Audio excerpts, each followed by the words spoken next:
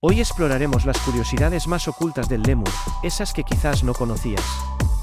Prepárate para sorprenderte. ¿Sabías que la mayoría de los lémures son nocturnos? Aunque algunos son activos durante el día, la mayoría prefieren la oscuridad de la noche para buscar comida y socializar. Los lémures son endémicos de Madagascar, lo que significa que no se encuentran en ninguna otra parte del mundo.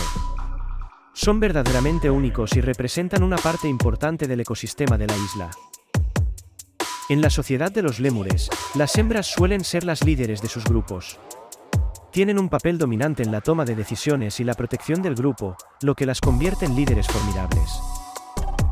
Estas son solo algunas de las curiosidades más ocultas del lémur. ¿Cuál te sorprendió más? Déjalo en los comentarios. No olvides suscribirte para más contenido sobre la maravillosa vida animal.